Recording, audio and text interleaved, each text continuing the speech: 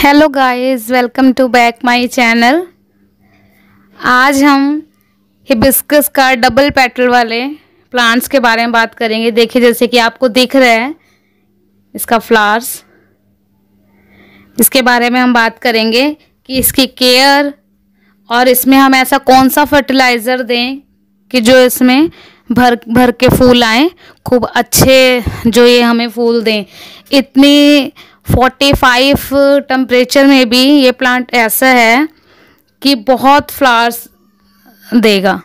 आपको जो मैं फर्टिलाइज़र बताऊँगी, इससे आपको ना इसकी जो कली गिरती है वो गिरेगी। उस सब के बारे में आपको बताऊँगी, इसकी केयर के बता, बारे में। ये देखिए जो मेरा ये प्लांट्स है, देखिए। आप देख रहे हो, मैंने जब ये फर्टिलाइज़र दिया जब मैंने ये फर्टिलाइज़र इसको करा तो ये देखिए आप कि पंद्रह दिन के बाद इस पे जो कलियाँ थी, काफ़ी कलियाँ आ गई थी।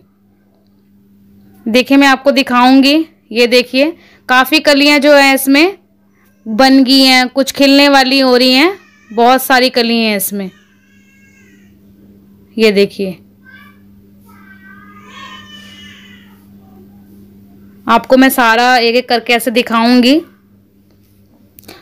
ये सिर्फ़ पंद्रह दिन के अंदर जब मैंने फर्टिलाइज़र दिया तो इसमें इतनी कलियाँ थी, और उसके बाद मैं दिखाऊँगी, उसके बाद का भी दिखाऊँगी कि वन मंथ में एकदम ये फुल हो गया था, एकदम कलियों से एकदम भर गया था। कोई भी ऐसी इसकी ब्रांच नहीं थी कि जिसपे कलियाँ ना हों। और गाइस जो ये हमारा हिबिस्कस प्लांट है, जिसको हम गुड़हल भी बोलते हैं, ये हमारा परमा परमानेंट प्लांट है। सिर्फ़ जो विंटर का टाइम होता है विंटर के टाइम में ये हमें फ्लावर्स ऐसा नहीं है कि उस टाइम भी नहीं देता, उस टाइम भी बहुत कम रहते हैं फ्लावर्स लेकिन फ्लावर्स उस टाइम भी इसके देता रहता है ये फ्लावर्स बस। और विंटर इसका जो है डोरमेंसी पीरियड है। बहुत अच्छे फ्लावर्स उस टाइम नहीं वो होते हैं, लेकिन चलते रहते हैं कुछ कुछ पर हमारा जो प्लांट है, उसकी जो ग्रीनरी है, वो बनी रहती है। ये देखिए, जो मेरा प्लांट है गाइज़ ये चार से पाँच साल पुराना है प्लांट मेरा। देखिए, जैसे कि आपको इसकी स्टेम पूरी दिख ही रही होगी। इस पर कलियाँ देखिए आप, पूरा कलियों से भरा हुआ है। कुछ कुछ हैं जहाँ अभी कलियाँ नहीं हैं, सिर्फ़ पंद्रह दिन में देखिए इतनी इतनी कलियाँ थी। गाय से केयर के बारे में बताऊँ तो इसको हम, इसे फुल सनलाइट चाहिए। फुल सनलाइट में रखिए इसको। लेकिन देखिए, जैसे कि अब ये टेम्परेचर जो चल रहा है forty forty two forty five इसमें क्या है कि नेट की ज़रूरत है। नेट इसलिए इसको शेड की ज़रूरत है, क्योंकि जो इस टाइम की गर्मी है, वो जो लीव्स हैं फ्लावर्स जो फ्लावर्स है, उसको बर्न कर देती है, उसे जला देती है। तो इसलिए इसको नहीं तो ये सन लविंग प्लांट है।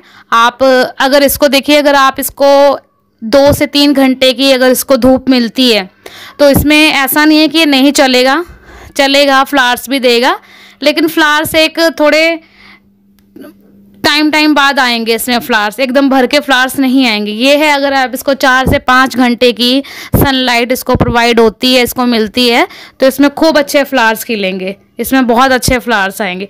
तो आपने इस चीज़ का ध्यान रखना है, इसको वाटरिंग आपने जो पानी है, इसको हर रोज़ देना है सुबह शाम आप दो टाइम भी इसको दे दे सकते हो। अगर छोटे पॉट में है तो आपने इसको चेक करके देना है इसके सॉइल को।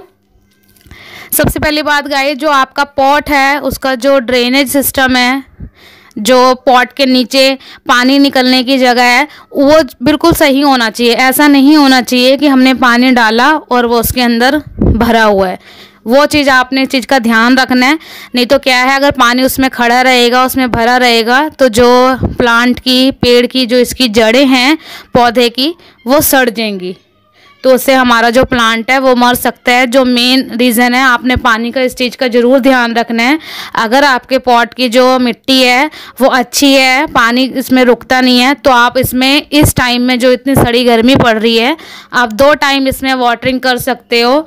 और आप ऐसा भी कर सकते हो कि शाम के टाइम इसको पानी दे रहे हो और सुबह के टाइम इसको खूब अच्छे से इसको नहला दो, इसको खूब शावरिंग कर दो, इसको ना स्प्रे से करो या पाइप से अगर पानी देते हो तो उससे। खूब अच्छे से इसमें पानी कर दो गाइज़ तो अगर आप गाइज़ एक चीज़ बहुत अच्छी है, आप अगर अपने सभी प्लांट्स पे इस टाइम पे स्प्रे करते हो, एक टाइम पानी और एक टाइम अच्छे से स्प्रे करते हो, अच्छे से नहलाते हो तो आप खुद देखना जो हमारे प्लांट की ग्रोथ है, बहुत ज़्यादा अच्छी होती है.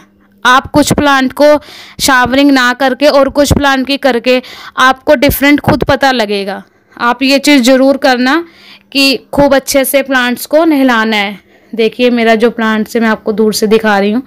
इससे क्या है, एक तो जो ये प्लांट्स है, इसमें जो mealy bugs aphid spider mites किसी चीज़ का अटैक नहीं होगा। क्योंकि जो हम डेली इसको शावरिंग करेंगे तो उससे वो इस पर टिक नहीं पाएँगे। तो ये भी ज़रूरी है। और अगर आपके प्लांट्स पे अगर कोई भी ऐसी बीमारी लग गई है, किसी चीज़ का अटैक है एफिड्स वगैरह का तो आप नीम ऑयल का स्प्रे इसके ऊपर कर सकते हो। वन लीटर में आप वन स्पून नीम ऑयल और हाफ़ स्पून आप कोई भी माइल्ड सोप लेके और कुकिंग ऑयल उसकी कुछ हाफ़ स्पून कुकिंग ऑयल वो आप अच्छे से मिक्स करके इस मिक्सचर को, आप वन लीटर की बॉटल में अच्छे से उसको डाल के, अच्छे से प्लांट्स को पूरा स्प्रे कर दीजिए। तीन तीन, चार चार दिन के गैप पे करिए। अगर बहुत ज़्यादा है तो आप इसका डेली स्प्रे करिए। अगर आप डेली कर रहे हो तो जो नीम ऑयल है, उसको वन स्पून की जगह आपने हाफ़ हाफ़ से भी थोड़ा कम कर देना है। और अगर आप चार से पाँच दिन के उस पर कर रहे हो तो आपने वही क्वांटिटी रखनी है। आपने इस चीज़ का ध्यान रखना है।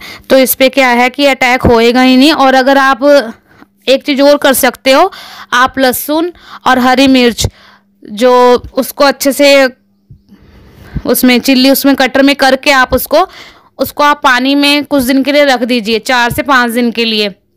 उसके बाद आप इस लिक्विड को आप अपने प्लांट्स में, उस लिक्विड को पानी के अंदर, एक से डेढ़ लीटर पानी के अंदर अच्छे से वो करके उससे भी स्प्रे कर सकते हो।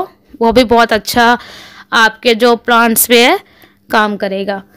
तो गाइज़ आप ये कर सकते हो, क्योंकि इसमें ज़्यादा क्या है मिली बग का बहुत ज़्यादा अटैक होता है। अपनी चीज़ का ध्यान रखना है, आप डेली शावरिंग करेंगे तो ऐसा होगा नहीं।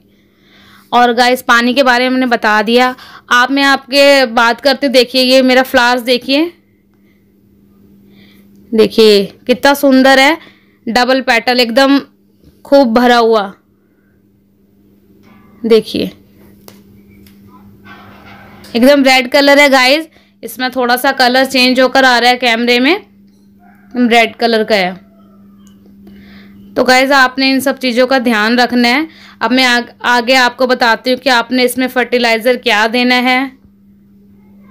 जिससे कि इसमें बहुत सारी कलियाँ खूब अच्छे से कलियाँ आएँगी गाइज़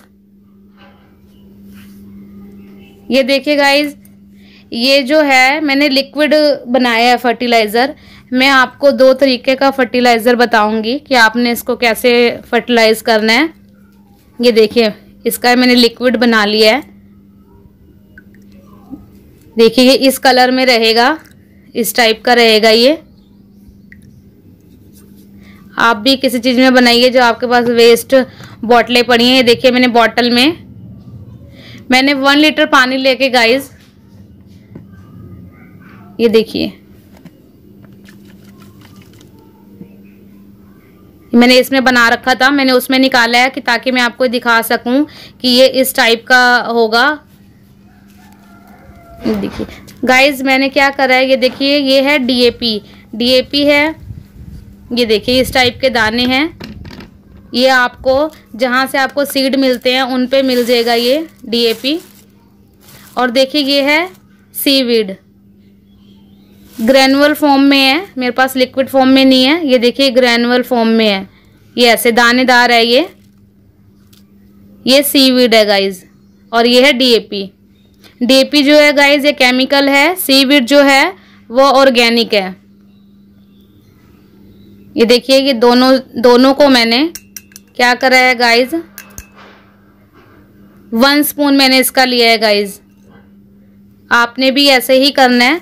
वन स्पून, ये देखिए मैंने डीएपी डीएपी का लेना है आपने वन स्पून। और आपने वन स्पून ही आपने ये लेना है। ये वाला देखिए, मैंने स्पून ये वाला यूज़ कर रही हूँ, बहुत बड़े वाला नहीं है। ये प्लास्टिक के जो आते हैं seaweed one spoon DAP one spoon मैंने सीवीड का लेके और उसको एक बॉटल में डाल के पानी उसमें भर के मैंने इसको इसमें डिज़ोल्व कर दिया। इसको मैंने रख दिया। कम से कम मैंने इसको पाँच दिन के लिए मैंने इसको रख दिया था। ये देखिए, अच्छे से ये इसमें बिल्कुल बहुत अच्छे से घुल गया इसके अंदर।